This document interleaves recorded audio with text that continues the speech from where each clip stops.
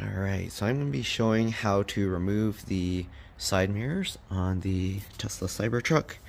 Okay, so first you have this little cover here. Alright, so we're going to disconnect it first. That way when we pull it up, we don't have to worry. So there's this little tab. Okay, let me see if I can zoom in a bit. I know there's not like a good viewing angle, but basically pull down on that tab and then you can pull this out. Basically like those TV remote controls that had the little tabs long time ago. Now they just slide down, but there you go. And then this, you kind of pull up because it has this that hooks on there. So you, you lift it up to get that out. And now you have this access to this cable, all right?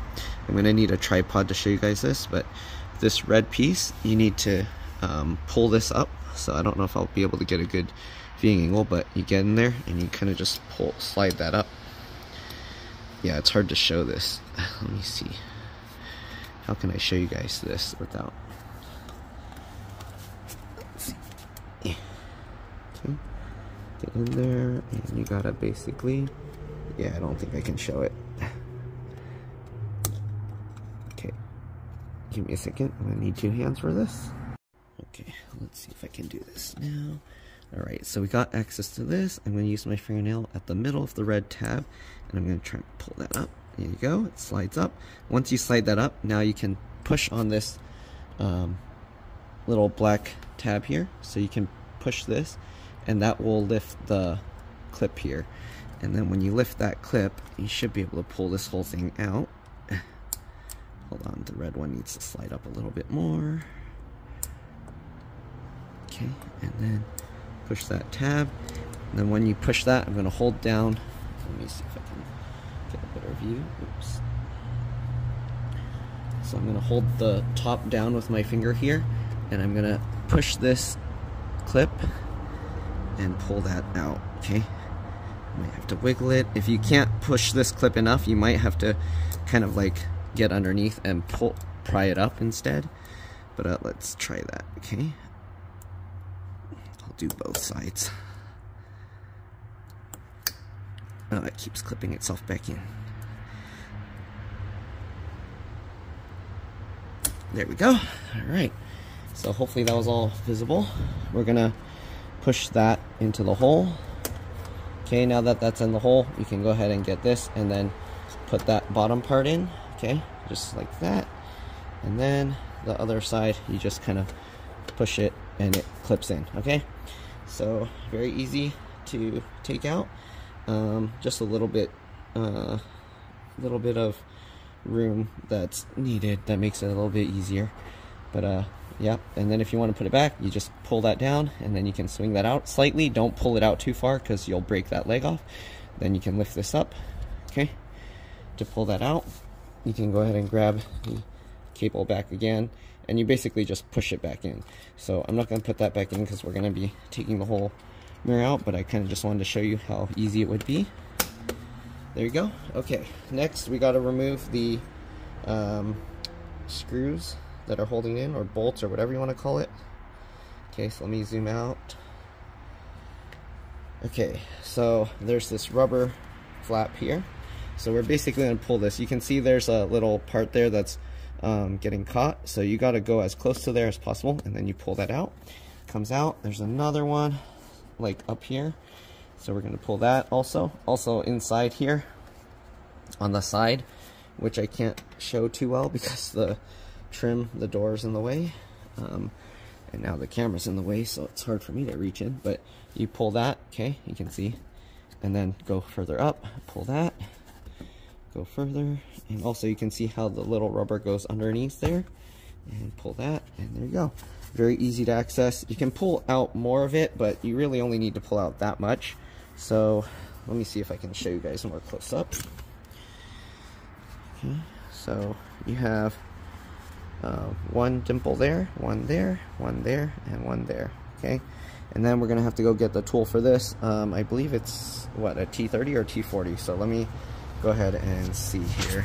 Okay, I'll get the tool and I'll be back.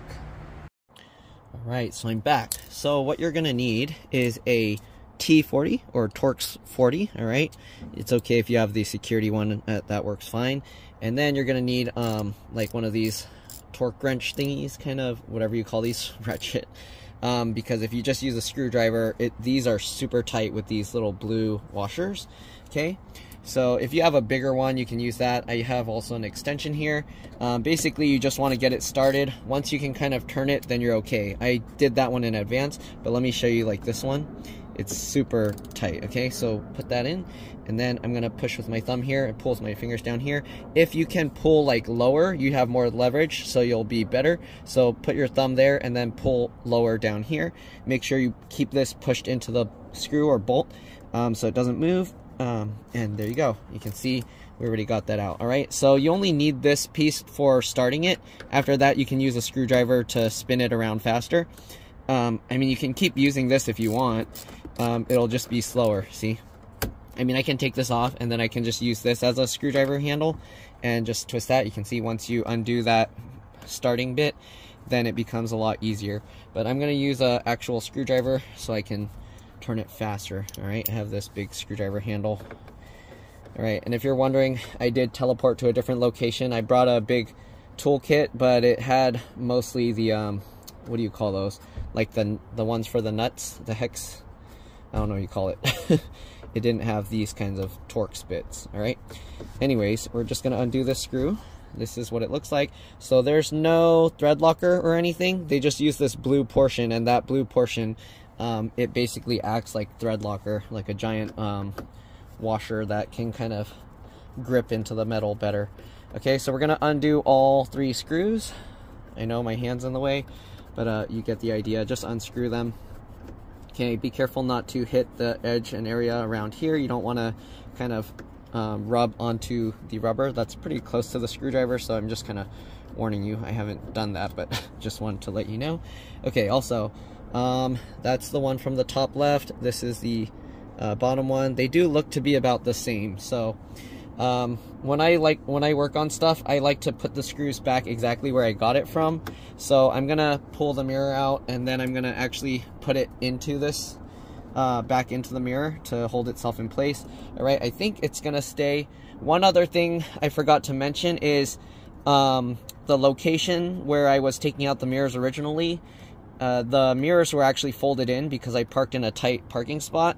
So keep that in mind when you go to reinstall, if you ever reinstall the mirrors, that you do have the fold or unfold setting proper. Um, I don't know what will happen if you don't because the car apparently doesn't care that like I unplug the mirrors. Um, if I push fold unfold, it will keep that setting. So the car, it was showing the mirrors were folded and then the button was showing to unfold the mirrors. Um, so if you're not careful, I don't know if you have it unfolded and then you put it, uh, and then your car was changed to like unfold mode. Um, and then you were like basically doing the opposite. I don't know if it's going to try and force it to go the opposite way. Right, so you can see it's folded right now. Okay. And yeah, so this is the mirror. Let me actually just roll down the window so it's easier to work on here. Okay, so we got that. Okay, and now we're just gonna basically pull this up. I might need two hands for this. Yeah, I'm gonna need two hands. So let me put it back in the tripod, give me a second. Okay, there you go. And we're basically just gonna lift this out. So you probably get one hand underneath on this side, and then from this side as well. And you kind of, oh, it like rocks up. Huh. I don't know if it's on a clip. I don't wanna, let's see. There is a clip actually.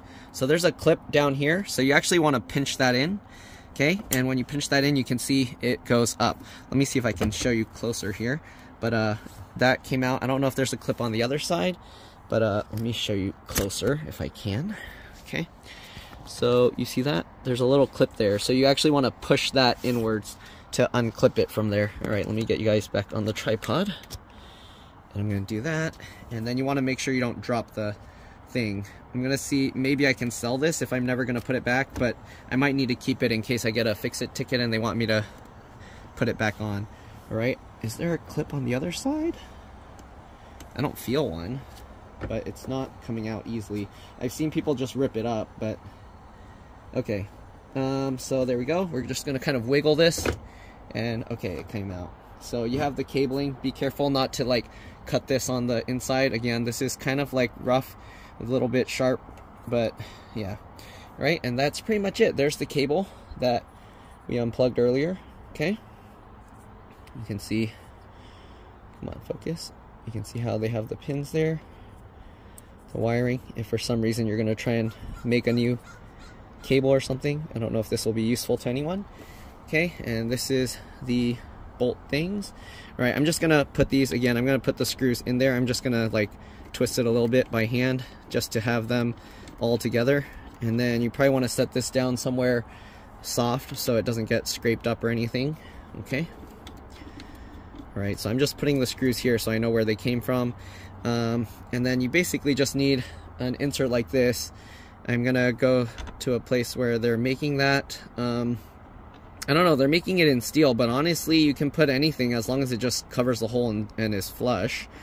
Um, it doesn't need to be like perfectly... Um, okay, it looks like this side has a clip right there. But yeah, you can't really access that from the outside. This clip you can. And then there's another like little... Oops, sorry, I can't even see. There you go. That thing slides in as well. I'll show you close up the inside. Give me a second. Set the mirror down. Okay. Let me show you close up what the inside looks like. You have this little felt thing to prevent it from scraping up.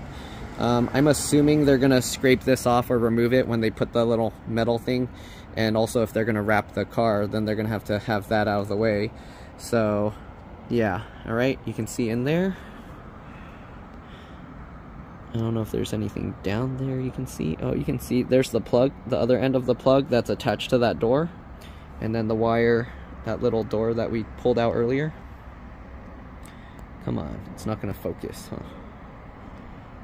I don't know if I can get it to focus when I zoom in that much. All right, anyways, you get the idea. Not really much else. There's a hole there. And then basically to put it back, it's very simple. You just drop it back in and it will click into place. Um, nothing complicated. And then you just bolt in the screws there and there. Maybe I should show that. Give me a second. All right, so I forgot to show this as well. There's a little label here with the QR code. Maybe that will help some people. Part numbers, maybe. If you break yours, you can know what to search. Okay, so hopefully that's useful. Okay, anyways, if you were going to put this back, you basically just drop this wire back down there.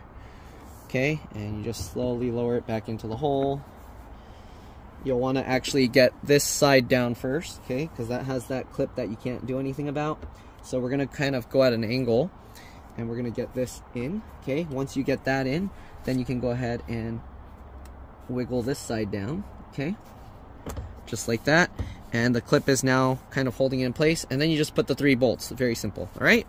That's it. So I'm gonna pop this back out again. Again you push that clip in and then you can kind of pull that up be careful with the wiring and yeah the wiring harness also or wiring cable or whatever also has this squishy foamy stuff on there to keep it um, nice I guess I don't know it's probably so it doesn't rattle around because if it start if the wires like wiggle around in there then it can make noise so I think that's why they added that. All right, anyways, let's go ahead and push the rubber thing back in. Now that I'm here, I can actually show you closer, I guess. You can see how these little things work. It's just like these little rubber stopper things. So you just get that, line it up with the hole, push that in, you can see how it pops in. All right.